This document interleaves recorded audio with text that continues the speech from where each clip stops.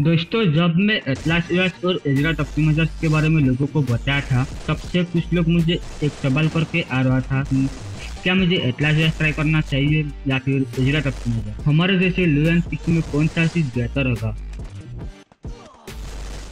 देखो, बात यह है कि एटलास यूएस और एजराट ऑप्टिमाइजर वो दोनों अलग चीज़ है।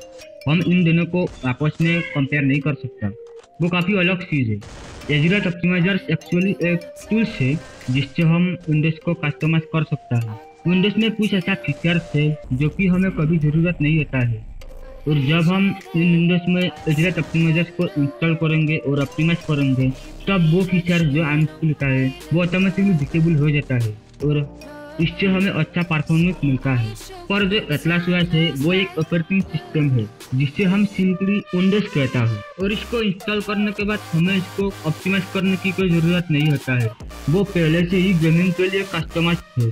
और इसका जो गेमिंग परफॉर्मेंस है, वो एजराट ऑप्टिमाइजर इंस्टॉल करने के बाद जो परफॉर्मेंस होता है इसे थोड़ा ज़्यादा होता है। मतलब परफॉर्मेंस में थोड़ा डिफरेंस है एजराट और एटलास के बीच।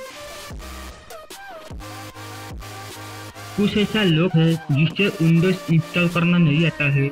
और हो सकता है विंडोज़ में कुछ ऐसा इम्पोर्टेंट चीज़ है जो खोना नहीं चाहते हैं। उनके लिए इजरत ऑप्टिमाइजर सजेस्ट किया गया है।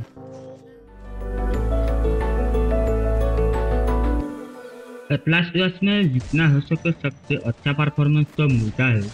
लेकिन इसको सेटअप करना बहुत मुश्किल है। क्योंकि एटलास ओएस को इंस्टॉल करने के बाद इसका कुछ ड्राइवर फिर से इंस्टॉल करना पड़ता है जैसे कि wifi driver graphic driver Bluetooth driver इस तरीके से और बहुत कुछ चीज़ें बाद में इंस्टॉल करना पड़ता है। होपफुली आप लोग समझ गए होंगे कि एटलास प्लस और एजरत ऑप्टिमाइजर कैसे और कौन कौन यूज़ कर सकता है। और अगर आपके मन में कुछ सवाल है तो आप सीधा कमेंट कर सकते हो।